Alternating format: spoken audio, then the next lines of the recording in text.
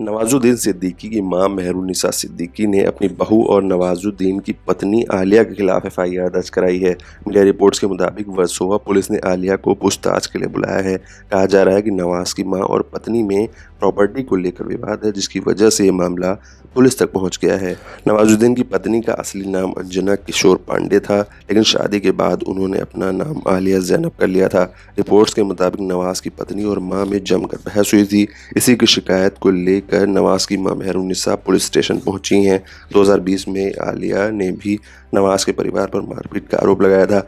आलिया का कहना था कि नवाज़ के भाई शम्स सिद्दीकी ने उनके साथ मारपीट की थी और इसी वजह से उन्होंने नवाज़ को तलाक ले लिए लीगल नोटिस भी भेज दिया था। आलिया ने सोशल मीडिया पर एक पोस्ट करके अपने खिलाफ हुए एफआईआर पर हैरानी जताई है। उन्होंने लिखा कि जब मैं अपने पति के खिलाफ शिकायत दर्ज कराती हूँ तो पुलिस इस पर ध्यान नहीं देती है, जबकि पति के घर में घुसते ही कुछ देर में मेरे खिलाफ एफआईआर कर दी गई। क्या मुझे कभी न्याय मिल पाएगा? आलिया ने इस पोस्ट के साथ एफआईआर की कॉपी भी लगाई है। 2021 में आलिया ने नवाज़ को तलाक देने के अपने फैसले को बदल दिया था। उनका कहना था कि नवाज़ के व्यवहार में बहुत बदलाव आया है। इसी वजह से उन्होंने तलाक देने के फैसले पर विचार किया है।